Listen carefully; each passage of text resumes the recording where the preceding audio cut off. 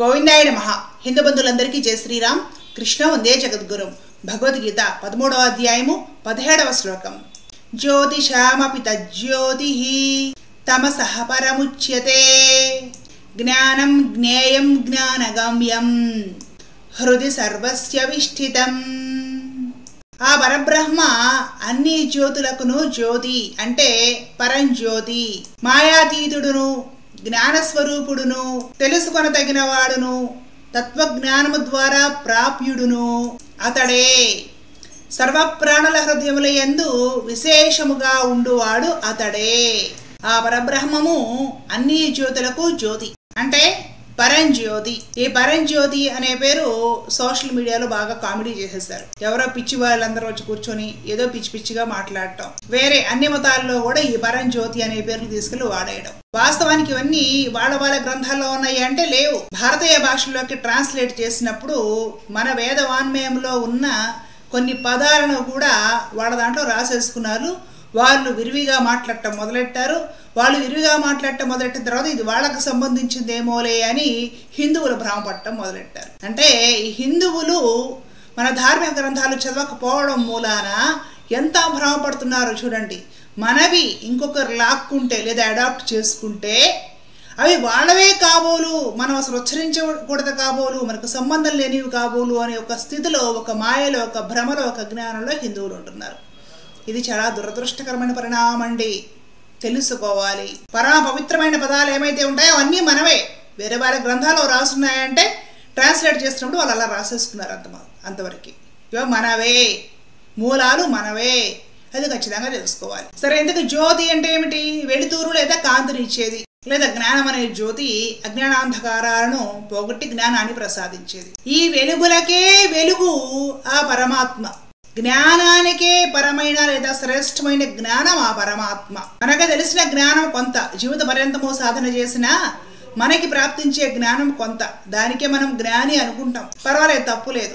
కానీ సమస్త జ్ఞానము రాశీభూతమైతే అతడు పరమాత్మ. మనం చూసే వెలుగు చూడగలిగే వెలుగు గ్రహించగలిగే వెలుగు కొంతే. కానీ పరమాత్మ తేజస్వరూపుడు. అసలు ఈ సకల సృష్టికి వెలుగు వస్తుందే పరమాత్మ నుండి. జ్యోతులకే జ్యోతి పరంజ్యోతి ఆ పరబ్రహ్మము లేదా పరమాత్మ.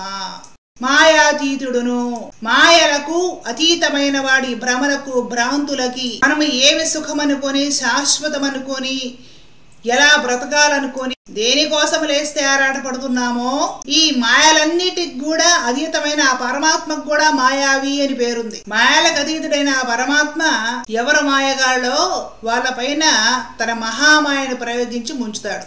మరి ముళ్ళును ముళ్ళుతోటి తీయాలి కదా? పరమాత్మ మాయకు అతీతుడు జ్ఞాన స్వరూపుడు రాశీభూతమైన జ్ఞానము పరమాత్మ. జ్ఞానమే తన స్వరూపమైన వాడు. జ్ఞానముతోటే తెలుసుకోదగ్గవాడు పరమాత్మ. జ్ఞానమంతా వచ్చింది పరమాత్మ నుండే. తెలుసుకొనదగిన వాడును. ఖచ్చితంగా మనమందరం తెలుసుకోవాల్సిన విశేషము ఏదైనా ఉంది అంటే పరమాత్మను గురించి తెలుసుకోవడానికి ప్రయత్నము చేయడమే. ఈ ప్రయత్నానికి ఆధ్యాత్మిక సాధన అని పేరు. మానవ జన్మ ఎత్తిన ప్రతి ఒక్కరూ కూడా ఆధ్యాత్మిక సాధన చేసి జ్ఞాన సోపార్జన చేసి పరమాత్మను తెలుసుకునే ప్రయత్నం చేయాలి. చేయకపోతే మానవ జన్మ వృధా అయిపోతుంది. కాబట్టి తెలుసుకోదగిన వాడు పరమాత్మ. ఏ విషయాల గురించి తెలుసుకున్నా కూడా ఎంతవరకు ఆ విషయం శాశ్వతత్వాన్ని కలిగించేదా?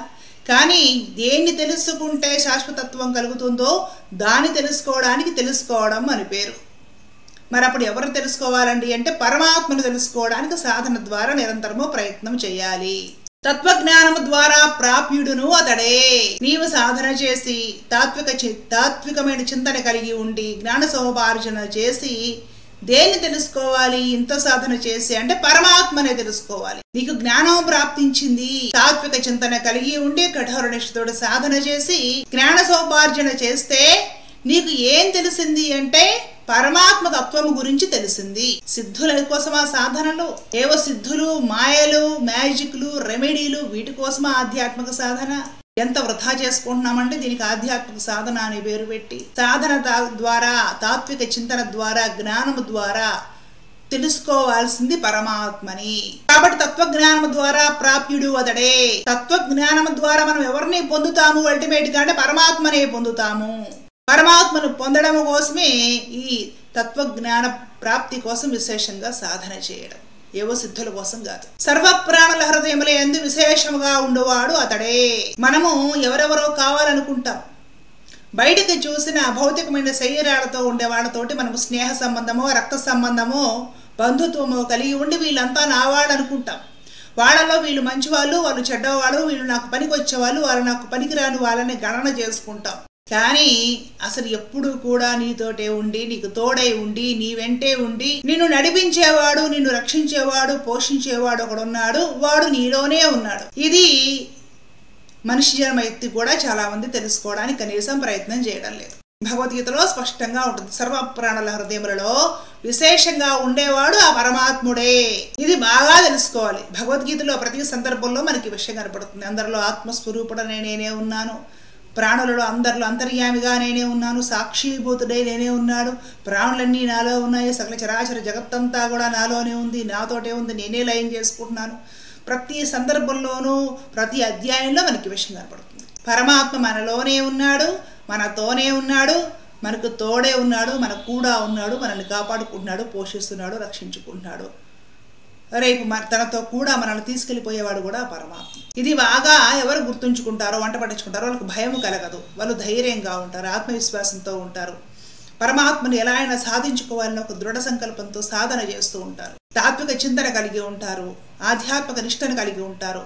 ఇలాంటి మహాత్ములకే సాధకులకే యోగులు అని పేరు. అలాంటి యోగులు అవ్వడం కోసం ఆధ్యాత్మిక సాధన కానీ ఆధ్యాత్మిక సాధన పేరుతోటి ఏవో పిచ్చి పిచ్చి పనులు చేయడము టెంపరీ ఫలితాల కోసం పాకులాడటము ఇదంతా అజ్ఞానపు పనే కానీ విజ్ఞానం ఆర్జించే పని మాత్రం కాదు. సాధకులు ఈ విషయాన్ని చక్కగా తెలుసుకోవాలి.